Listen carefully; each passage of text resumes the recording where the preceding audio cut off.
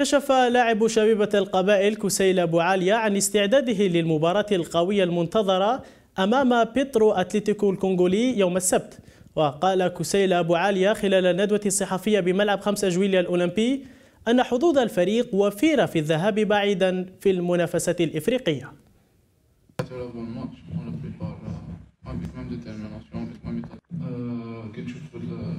كتشوف لي بوان معناش كاليفي 100% دونك بقى ماتش ديسيزيف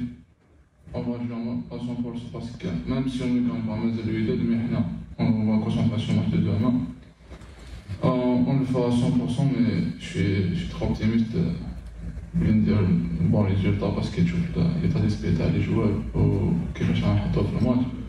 على بالي بلي ندير ايجابيه ونروح الماروك متاهلين ان شاء الله